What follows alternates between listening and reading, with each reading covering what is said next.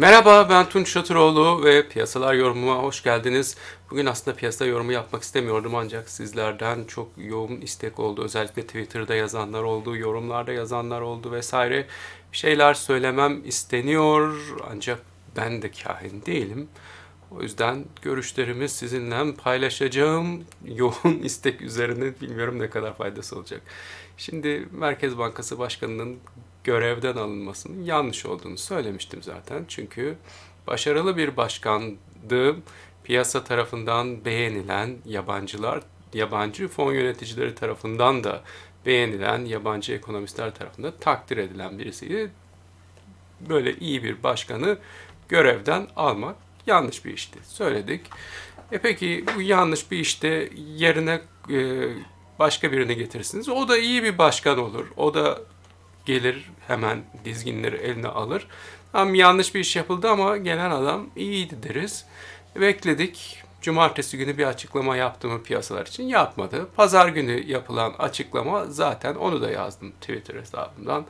Ee, yani piyasaları tatmin etmekten çok uzak. Sanki normal bir gündenmişiz gibi. Sanki bir krizin içerisinde değilmişiz gibi yapılmış bir açıklamaydı. Çok zayıftı, çok kötüydü. E, bugün piyasa tabii ki korkunç bir şekilde açıldı. Yani önce bir e, dolar kurunda anormal hareketler oldu. Piyasa açılmadan önce Bloomberg rakamları.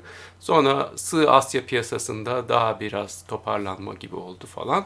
Ve o benim işte 7.50, 7.45 falan açar ondan sonra 7.78'e gider oraya geçerse 7.85'e gidebilir e, gibi yorumlarım havada kalmış oldu. Çünkü e, sağlıklı bir fiyat oluşması o saatlerde mümkün değildi.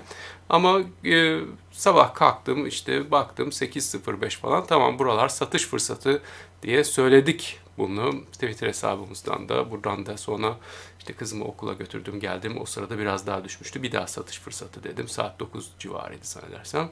E, yani bu kadar ama ondan sonra bekledik piyasalar hakkında, bu işler hakkında Merkez Bankası Başkanı çıksın, bir konuşma yapsın diye ben bekledim.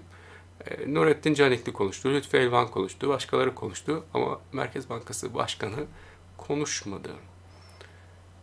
Yani yani başarılı bir adamı görevden aldık, yanlış bir iş yaptık, yerine getirdiğimiz bir şey yapmadı. Yani iyi bir iş mi yaptı, kötü bir iş yapmadı, değerlendirebileceğimiz bir şey yapmadı paramızın %10 değer kaybettiği bir gecenin sabahında Merkez Bankası Başkanı'ndan beklentimiz piyasaları yatıştıracak şeyler söylemesiydi. Söyledi mi? Hayır. Bir şeyler söylemedi. Hiçbir şey söylemedi. Bakınız. Ben Merkez Bankası Başkanı değilim. Bu işler beni aşan işlerdir. Nasıl Merkez Bankası Başkanlığı yapılır bilmem. Ama iyi Merkez Bankası Başkanı'nı tanıyan bir finansçıyım ben. Bak iyi Merkez Bankası Başkanı nasıl oluyor? Ne demiş zamanında? Bizim yetkimiz dahilinde Avrupa Merkez Bankası avroyu korumak için ne gerekiyorsa yapmaya hazır ve inanın bana bu yeterli olacaktır. İşte İngilizcesi de within our mandate the ECB is ready to do whatever it takes to preserve the euro and believe me it will be enough whatever it takes ne gerekiyorsa. İşte bu Merkez Bankası Başkanı'dır.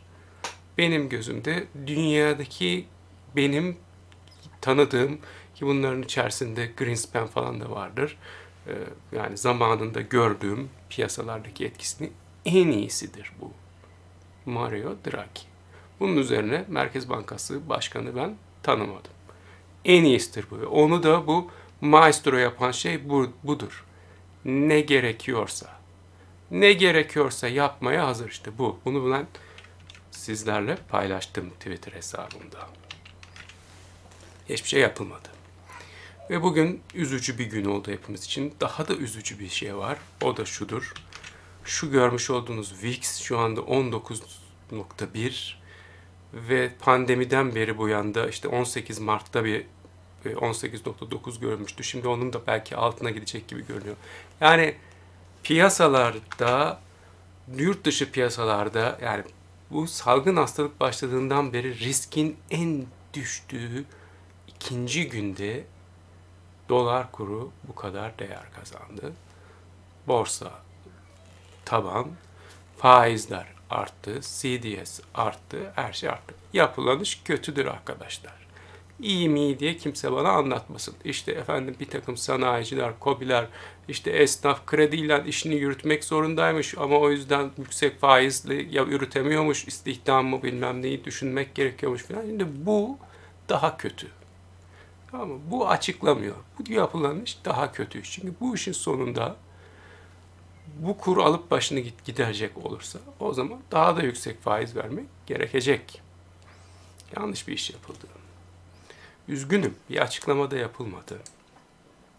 Gelelim dolar tarafına. Ne dedik? 7.43 falan gibi bir şeyler açar ve biz e, hızla 7.78 gibi bir yerlere gideriz. Öyle bir yerlere gideriz dedik. Şimdi bakalım ne olmuşuz. Şu 7.76'yı gösterdik değil mi? Şuraya. Şimdi oraya gelmişiz. 7 7.76'ya gelmişiz işte. Oraya gelmişiz. Ama gün içerisinde daha yüksek seviyelerden buralara geldik. İşte şurası 7.76. Şu anda tam oradayız. Daha üzerindeydi böyle. Ne dedik? Ee, ama bunun üzerinde 7.85 var dedik. O da burası.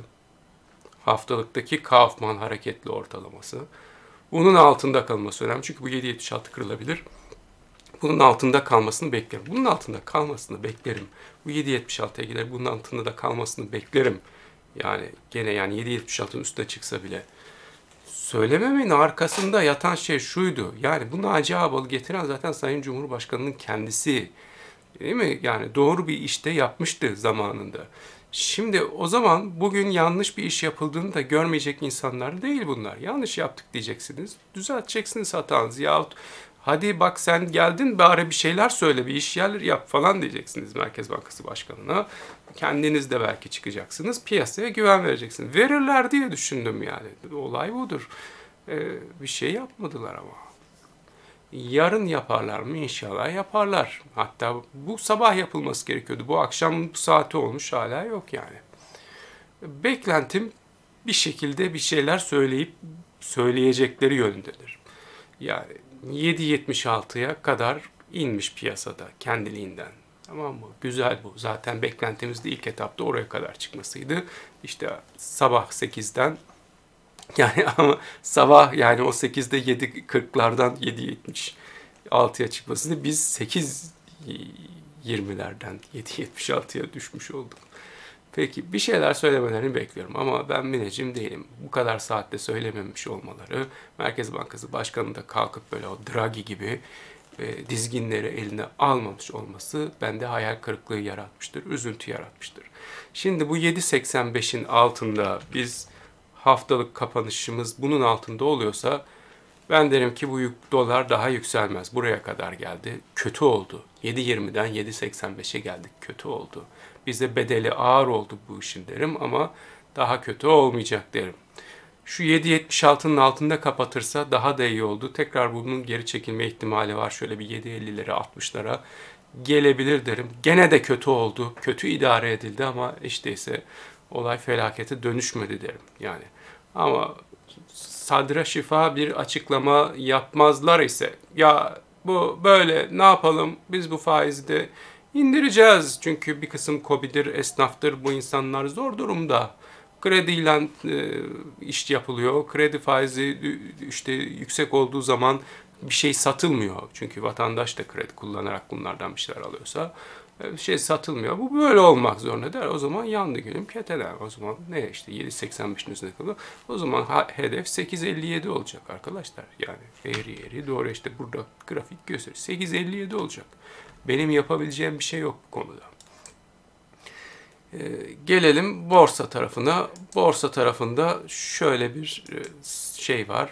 Şu görmüş olduğunuz yeşil haftalıktaki süper trend. Bunun da geçmiş olduğu yer 1374. Bunun altında haftalık kapanış oluyorsa borsa düşüş trendine giriyor. Maalesef ve 1297 98 e, ilk durağı olmuş oluyor ki benim beklentim şu 1409'a kadar falan geri çekilmelerin olması şeklindeydi. Bugün bize bu tabanı yaptırdılar. Zaten taban olduğu için 1374'e düşme ihtimali yoktu. E, tabana kadar geldi. Ne olur 1374'ü yarın gelebilir ama e, öbür gün gelebilir vesaire. Önemli olan cuma günü bunun üzerinde kapatmak arkadaşlar. Bunun üzerinde kapatabiliyorsak piyasalara böyle doların ateşini düşecek bir şeyler söyleniyorsa o zaman bunun üzerinde de kapatırız. Ee, kötü oldu ama işte çok da daha kötü de olabilirdi falan deriz. Günlük grafikte ise durum vehameti daha ortada görünüyor. Ee, şöyle kapatalım şunu. Daha vahim dur görünüyor. Ama nedir? Bayağı bir diplere gelmişiz. Ve buralardan toparlanmalar olabilir. 1350'den falan bir toparlanmalar olabilir. Ee, çünkü çok düşmüş.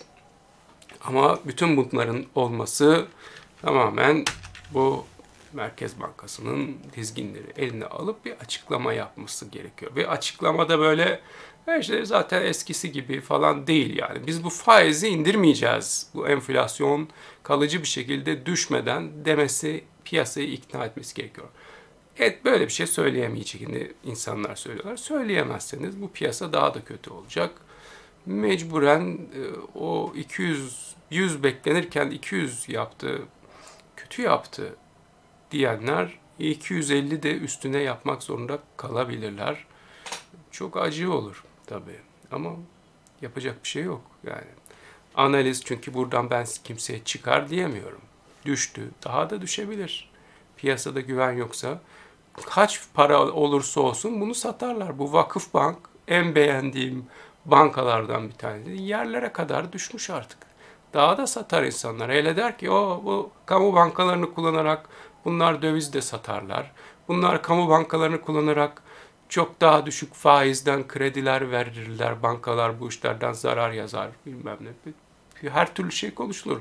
Meydan artık çakallara, şunlara bunlara kaldı. Her türlü felaket senaryosu yazılır. Meydan bunlara kaldı. Biz burada benim gibi piyasada insanlara pozitif olun, ülkenize güvenin, borsanıza güvenin falan diyen bir avuç insanız. E, işitmediğimiz küfür, hakaret kalmadı insanlardan. Her gün kaç kişiyi engelliyorum ben. Hani şöyle olacaktı, hani böyle olacaktı, hani dolar düşecekti, hani işte borsa iyiydi, bilmem neydi, hala aynı hedeflerin devam ediyor mu, hala aynı şekilde düşünüyor musun, hala pozitif misin? Bunlarla ben günde defalarca muhatap olmak zorundayım. Bir avuç insanız. Bir avuç benim gibi 3-5 tane adam var. Bugün eminim o bir avuç insanda değiliz. Yani yarısıyız belki. Ben hala pozitif tarafta olmak istiyorum ama diğerleri belki bıraktılar. Çünkü yanlış bir iş yapıldı. Yanlışın neresinden dönülürse o, o kadar kardır demek istiyorum. Yarın e, saat 2'de Ekotürk'te Perihan Hanım'ın programına katılacağım. İnşallah ben o programa katıldığım zaman o saate kadar artık birileri çıkıp bu piyasanın sahibi var. Ben buradayım. Bu faizler öyle kolay kolay inmeyecek yahut gerekirse de arttırılacak falan gibi bir mesaj verecek. İnşallah diyelim.